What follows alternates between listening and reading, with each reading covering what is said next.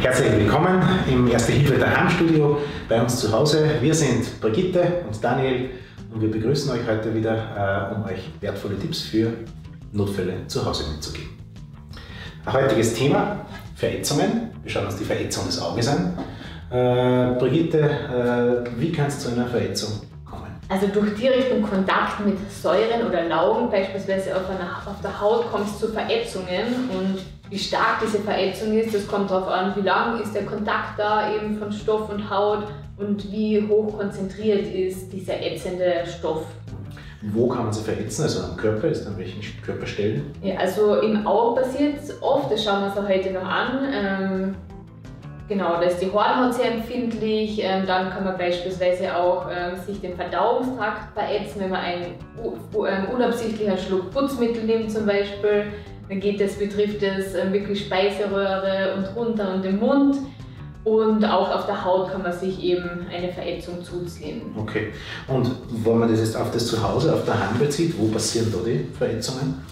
Ja, also oft kommt es vor, dass das mit Putzmitteln passiert. Das heißt, wenn man Putzmittel irgendwie falsch lagert oder wenn man die sogar umfüllt, was ganz, ganz gefährlich ist, weil der Nächste das dann vielleicht nicht weiß, dass da jetzt ein, eben ein ätzender Stoff drinnen ist. Oder beim Heimwerken kann das sein, äh, wenn man lackiert oder so und dann den Pinsel auswascht. Ähm, genau. Oder vielleicht jetzt in der Zeit, wo man auch, wo viele Leute daheim viel backen, ähm, kann man sich beispielsweise auch beim Laugengebäck verätzen. Laugenbrezen mag ich sehr gerne allerdings. Äh, unfallverhütende Maßnahmen, Brigitte, gibt es irgendwelche Dinge, die man beachten kann, dass, dass es hoffentlich nicht passiert? Also Putzmittel immer entweder versperren und nie umfüllen.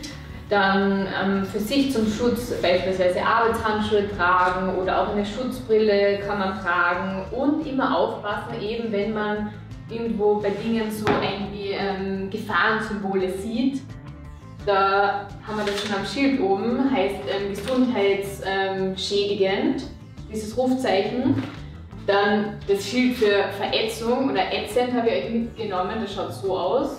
Das heißt, da lernt sich das Säure auf die Hand. Okay. Genau.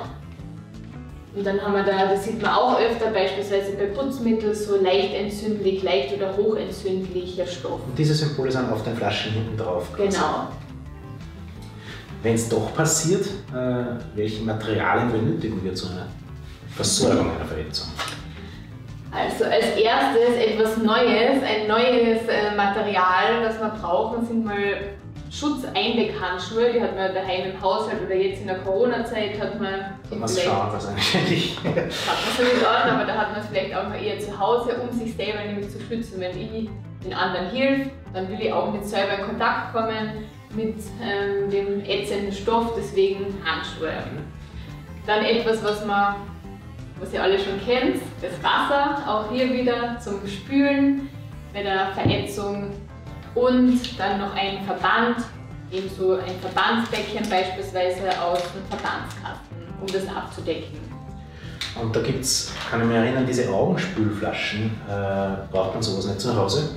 Die gibt es immer beispielsweise im Chemiesaal oder eben, wo einfach viel hantiert wird, jetzt mit Laugen oder Säuren. Und zu Hause ist es nicht notwendig, da reicht es wirklich wieder das Wasser aus der Leitung zu nehmen und ist ausreichend.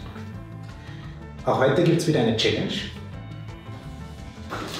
Challenge heute ist, finde drei Gefahrensymbole oder drei Dinge, mit denen man sich verätzen äh, kann zu Hause Schaut auf diversen Flaschen, ob Sie diese, diese Gefahrensymbole mit rotem Rand gekennzeichnet findet. Drei Dinge in einer Minute. Los geht's.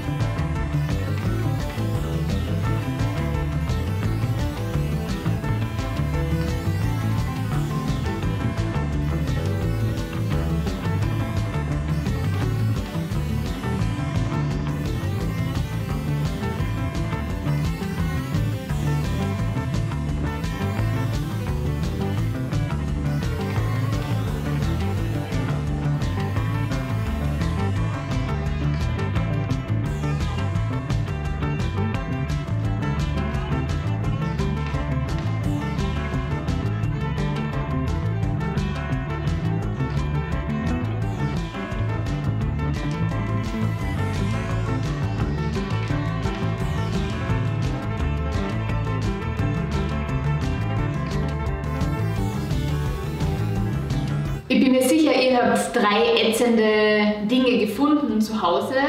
Bitte schaut, dass ihr die gut verstaut. Wir haben uns in der Zwischenzeit wieder auf die Suche gemacht nach einem passenden Notfallort und sind da jetzt dann gelandet im, im Vorraum, da bei der Türe. Der Daniel, der kommt gerade zurück ähm, nach dem Einkaufen. Daniel, was hast du denn eingekauft? Klopapier, noch ein Schneefach und alles Mögliche im Supermarkt. Den Mund-Nasenschutz eh. Ah, den habe ich jetzt habe ich natürlich Okay. gesagt. Äh, das sollten wir noch einmal verwenden. Äh, jetzt muss ich mal gleich die Hände waschen. Ah! Jetzt ist mir das abgespritzt. Ah, das brennt. Brigitte, welche Tipps hast du jetzt für uns zur Versorgung einer Verletzung? Ich habe mir als erstes einmal Handschuhe angezogen, denn wenn ich ähm, beispielsweise als Ersthelferin zu jemandem komme, der sich verätzt hat, dann ziehe ich mir zum Schutz Handschuhe an. Ich möchte mich nicht auch verätzen oder mir irgendwie gefährden, deswegen für meinen Schutz Handschuhe. Okay. Und dann Wasser spülen, das Auge in dem Fall ganz gut ausspülen mit handwarmem Wasser für 10 Minuten, so dass dein betroffenes, das verletzte Auge nach unten geht, dass nicht das andere Auge noch betroffen ist. Und dann einen Verband anlegen, so dass nicht mehr Keime dazukommen und sich das Auge in dem Fall ein bisschen erholen kann. Wie man jetzt richtig das Auge ausspült, das schauen wir uns gleich in der Küche an.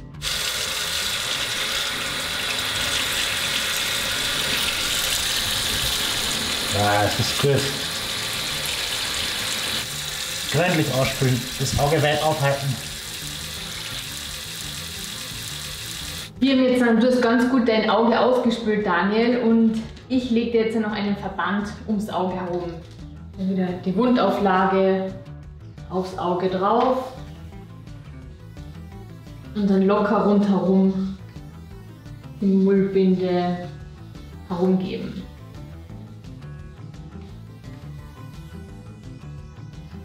Brigitte, du hast telefoniert vorhin. Genau, ich habe die Vergiftungsinformationszentrale angerufen und dann 014064343. Ich wollte wissen eben, was ich tun soll. Und die haben mich gefragt, mit was du dir ins Auge gespritzt hast.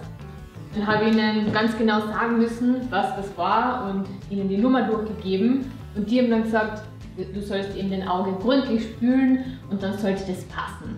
Bei schweren Verletzungen äh, ruft man Dann auch das Auge spülen, 10 Minuten verbinden und dann den Notruf wählen.